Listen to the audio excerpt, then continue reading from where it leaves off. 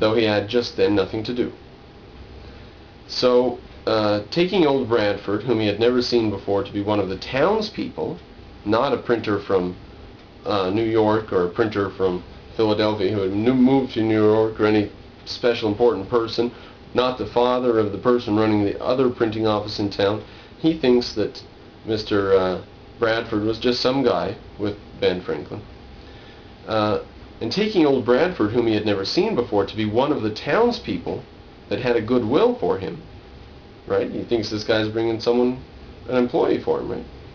He entered into a conversation on his present undertaking and prospects, while Bradford, not showing that he was the other printer's father, on Keimer saying that he expected soon to get the greatest part of the business in his own hands, drew him on by artful questions and starting little doubts, to explain all his views, what influence he relied on, and in what manner he intended to proceed.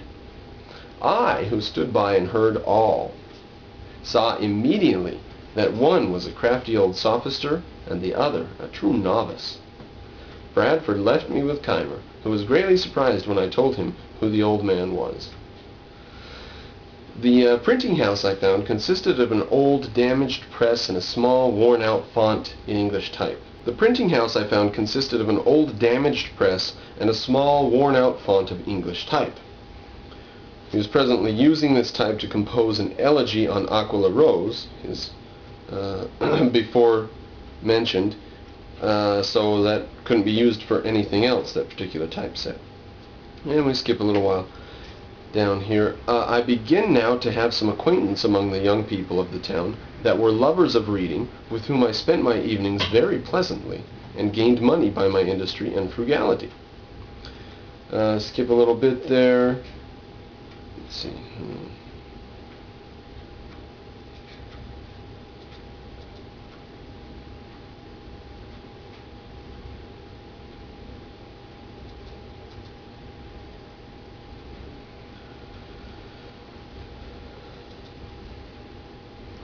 Okay, so he's living in Boston, or living in Philadelphia, and he says he tries to forget Boston as much as he could.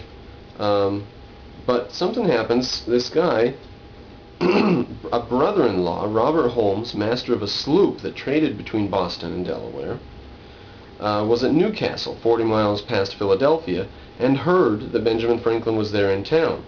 Quote, he wrote me a letter mentioning the grief of my relations and friends in Boston at my abrupt departure assuring me of their goodwill to me, and that everything would be accommodated to my mind if I would return to Boston, to which he entreated me earnestly. So he writes a reply to this guy. He says, no thanks, I, I think I'll stick around. Uh, and when the guy gets the letter, when his brother-in-law gets the letter, Sir William Keith, the governor of the province, was then at Newcastle and Captain Holmes happening to be in company with him, they were just sitting together, it happens, when the letter came to hand, spoke to him of me. He said, here's this lad, listen about this boy, and showed him the letter. The governor read it and seemed surprised when he was told my age. Now that is just all the pieces of luck falling together. But you could say it's a stroke of luck. Ben Franklin's letter just happens to get to this guy while the governor is sitting there, governor of the province. And he's like, this boy is how old? What an intelligent letter, and so on. But it's not so much a stroke of luck, because the governor could have been sitting there, and the guy could have got a letter from anybody in any circumstance, and it wouldn't have been it just a, a letter. Oh, this 17-year-old boy wrote to me, there it is. But when he hears, oh, this is a 17-year-old boy? So it's the fact that Ben Franklin had the tools and got exposed to the governor that way rather than a stroke of luck or a bolt of lightning that was, you know, just a good point in his life to send him off in the right direction. Because we'll see, it uh, was a good experience for him. The governor said that I appeared a young man of promising parts and therefore should be encouraged. The printers at Philadelphia were wretched ones, and if I would set up there he made no doubt I should succeed. Now, just, just saying this to the guy or as they have read this letter. And so the governor ends up going to Philadelphia to meet Ben. And they come and they knock at the door of the printing house where Ben's working with this Putz Keimer. So Keimer ran down immediately, thinking it a visit to him. But the governor inquired for me.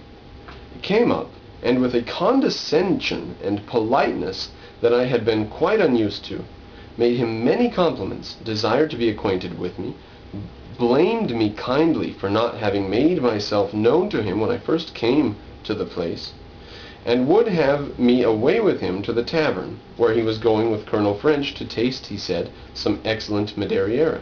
Madeira. I was not a little surprised, and Keimer stared with astonishment.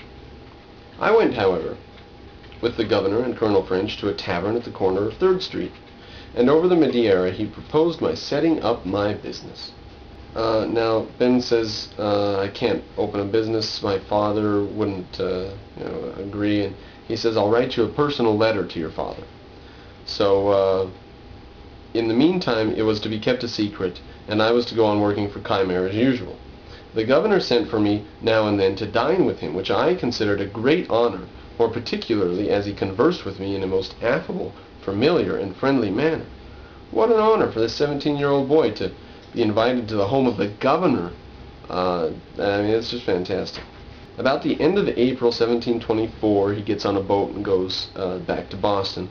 We arrived safe in Boston in, uh, in about a fortnight and had been uh, about seven months. He had been about seven months away. He went to see James at his printing house. This is all his family was happy to see him and stuff. We skip a little bit. He went to see James at his printing house. I was better dressed than ever while in his service, having a genteel new suit from head to foot, a watch, and my pockets lined with near five pounds sterling in silver. He received me not very frankly, looked me all over, and turned to his work again. Uh, he talks to his brother's employees for a minute uh, there in the shop, uh, and then he, he, they ask him what does the money there look like, uh, and he so he's able to show him his coins. Right, they ask. And then he gave them a dollar to drink and took his leave. How generous of him. This visit of mine offended James extremely, for when my brother some time after spoke to him of a reconciliation and of her wish to see us on good terms, he said I had insulted him in such a manner before his people that he could not forget or forgive it. My father received the governor's letter with some surprise, but said little of it to me for some time.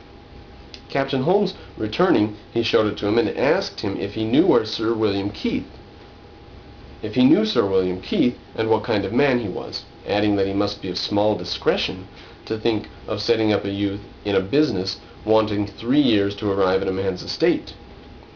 Holmes said that he could in favor he said what he could in favor of the project, but my father was decidedly against it. No, no, no, this is not going to work. He's not 21 yet, and he can't set up a business. Uh, he wrote a civil letter to Sir William, thanking him for the patronage that he had so kindly offered me, and declined to assist me as yet in setting up, I being, in his opinion, too young to be trusted with the management and undertaking so important. So he's going to go back to Philadelphia, and his friend Collins decides to go with him. Uh, and then continuing a little further down, my father though he did not approve Sir William's proposition, was yet pleased that I had been able to obtain so advantageous a character from a person of such note where I had resided. So he gave his consent to my returning again to Philadelphia.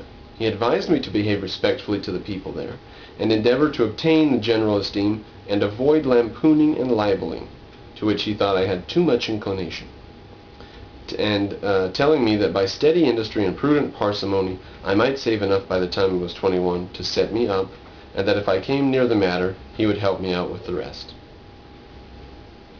So on the way to New York, they stop in Rhode Island, and Ben visits with his brother John. Uh, and John has a friend over, and this friend has a debt to be called in Philadelphia. So John says, will you uh, go collect this 35 pounds for me uh, in Philadelphia? and uh, keep it until my directions of what to uh, use it for. Accordingly, he gave me an order to receive the money. Uh, this business afterwards occasioned me a good deal of unease. Let me skip a great deal here to go down to the bottom of the page we go. At New York I found my friend Collins, who had arrived there some time before me. Now Collins was a good character previously, even more learned